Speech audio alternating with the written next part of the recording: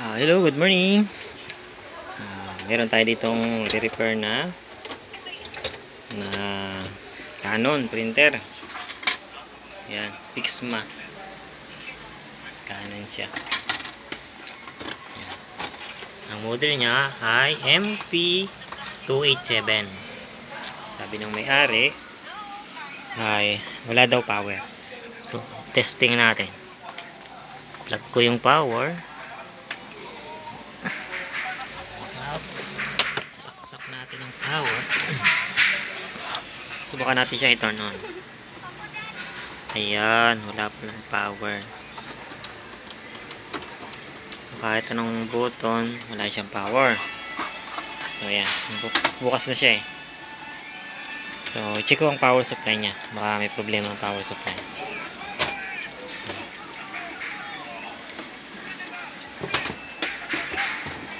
Bali, bukas na siya. Ito. Ito yung power supply niya.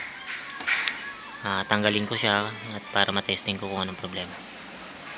So, ilagay ko lang ang aking camera dito. Ah, buksan. Bali, buksan ko siya. Sa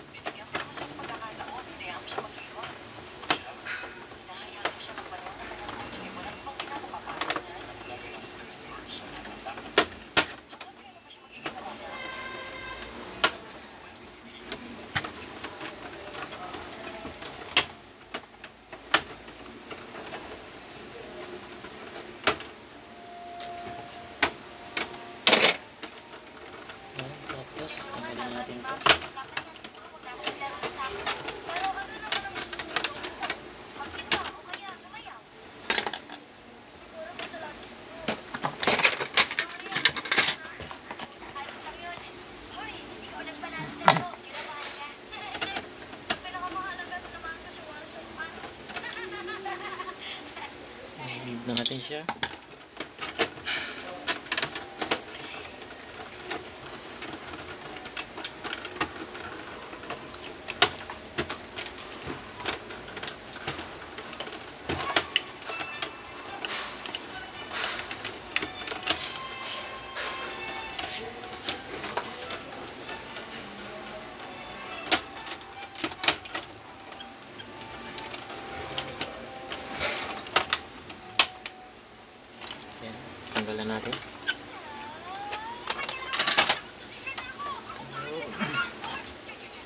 Siyang power. Kaya tanggalin ko muna ang power cord. Para hindi makuryente.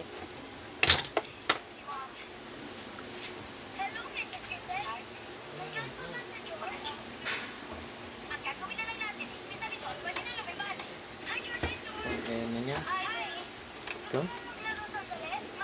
Wala siyang power. Hmm, parang nabasa siya.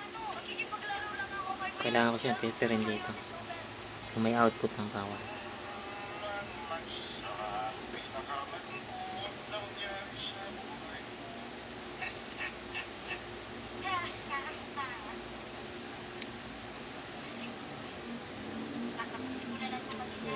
Check testing ko kung may twe- 24 volts.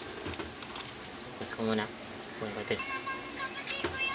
So, test natin kung may output ang ng kanyang itong power supply na to. So, test, testerin ko siya dito. I-ground natin sa mic. Ground na USB. Ayan, kung makikita natin siya. Wala siyang output. Wala siyang 24 volts. Pang 3 volts. Check natin. Oops, may 3 volts po siya. So, ang wala sa kanya is 24 volts. Check natin ang kabila. Ayan, may 24 volts naman sa kabila. Isang wire niya ay wala. So, hindi siya nagpa-power. Yan, mag-on lang itong kabila kapag nag-power na siya. So, hindi naman missing ang 3 volts at saka 24 volts. Present siya, present. 3 volts. Okay. Present siya. So, okay ang kanyang power supply. So, possible. Possible ang sira niya, board. So, tanggalin ko siya ito. So, Nakawa naman siya. Oops, may ipis. Su, su, su. So, may ipis. Kailangan ko i-check. Ah.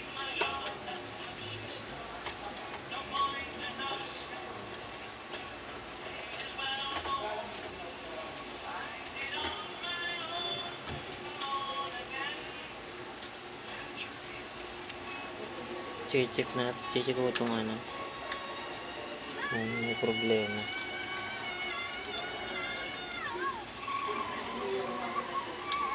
Oh, may problema ang switch niya. Power on. So, natin sa buzzer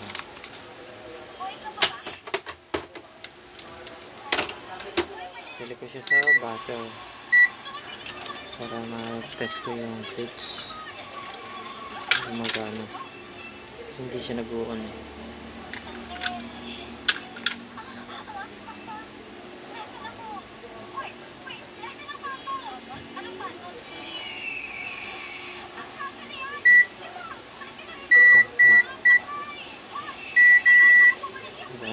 base testing natin ang switch okay.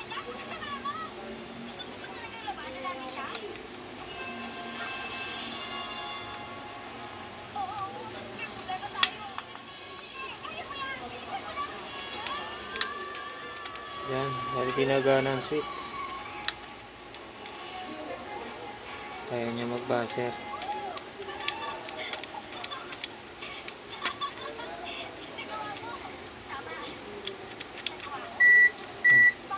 Hindi nagana ang kanyang switch. Yan.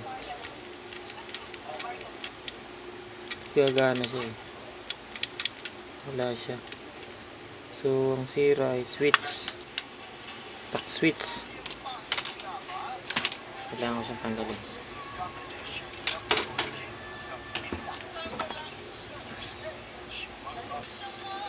So, tanggalin ko ito.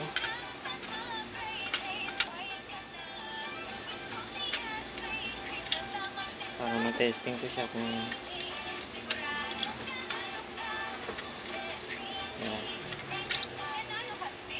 So, madumi siya. Kailangan linisin.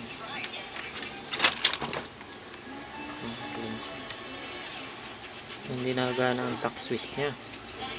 Sira. So, ang purpose na ang gagawin ko na lang, short ko siya. Subukan ko siyang i-short kung mag-work siya. So, balik ko muna siya dito.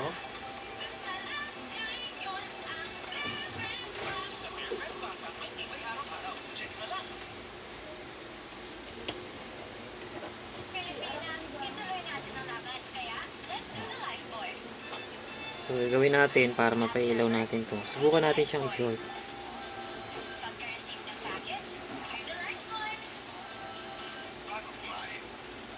Sinagana eh. Subok lang. Wala pa rin. Wala ang tuck switch niya. Ayaw niya mag-on.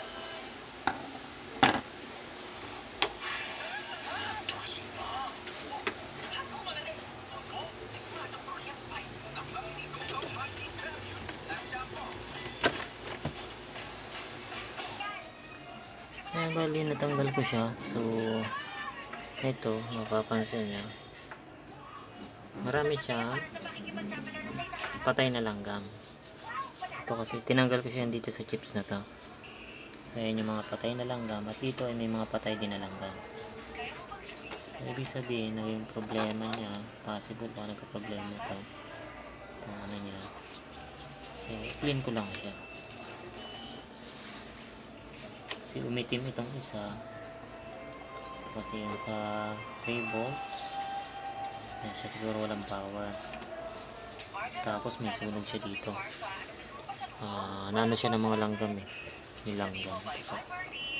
May corrosion, tapos may corrosion dito. So, yan. Possible yung naging issue niya. So, kailangan ko siyang linisin. Linisin ko lang siya. So, yan, na-clean ko siya. Nilinis ko lang. Linisin ko na siya. Gamit ang bulak. Kasi nilanggam siya. Para may sunog siya dito. eh. Wala lang ako pang testable. So,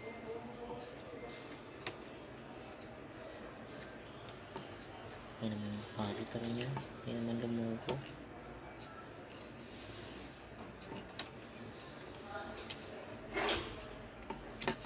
Subukan ko ulit mag-test. Okay. Sana umilaw man eh. Wala pa rin siya.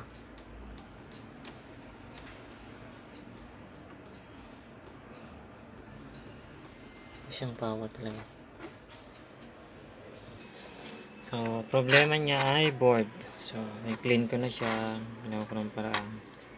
Kasi may power siya. May output. Meron siya dito. ah, 12 volts. Twi- Ah, 12 volts. Ah, 24 volts. Okay yung power supply niya. Tapos dito meron din siyang output dito sa IC. Problem lang kasi yung dito wala na siya. Kahit lahat ng palibot nila dapat meron kasi ito yung parang regulator IC niya eh. Ito kasi yung nagkaroon ng sunog na langgam. Ayan. Mapatay na langgam na yan. Mapatay na langgam na nakuha. Dami. Tapos mong dito yung sa IC na to. Tapos may corrosion yung side niya. So wala lang ako makuha na pamalit. So problem niya. ah yun. Bibili na lang si customer kung kaya niya ng budget. Siguro mga 2,000 may board. Para sa MP238. Ah, ano ba to? Oo nga. Para sa, sa model na to. Para sa model na ito. So yun. Antayin ko na lang bumili ang customer para makita. Hello. Ayan, dito na. Dumating na yung order natin. Ito na siya. Ayan, papalitan natin. Ayan. So, palit ko na siya dito.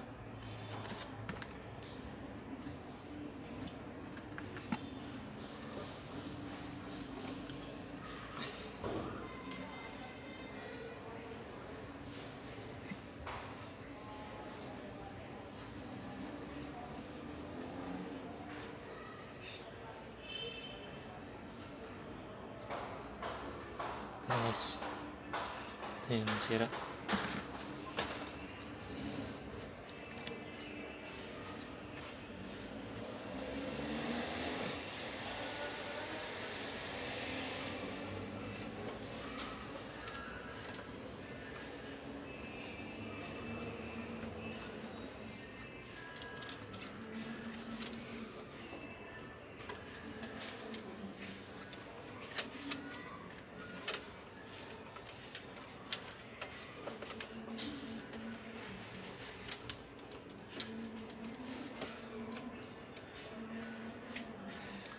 balik ko na lang siya. Ayun, bali nakabit ko na siya. Saksak ko. Testing kung gumagana. Ang nabili kong board. Saksak natin ang power.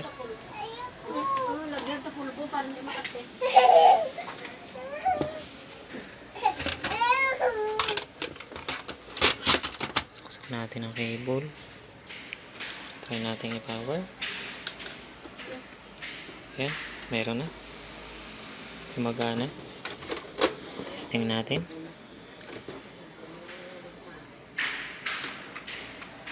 Yan, pinalitan natin. Ito yung pinagpalitan. May X na siya. Lagyan ko na ng X. So, wala siyang error. Ka na mag-display. Okay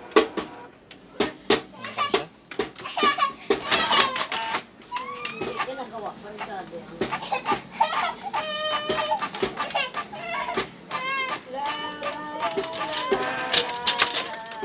okay na.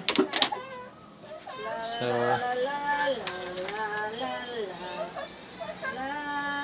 yan, okay na ang ating repair. Ang likod ni Bibi na pawis. Magkano na? Yan po. Ang model niya ay MP287 Canon. So, okay na siya. Hanggang dito lang ang video. Bye-bye po.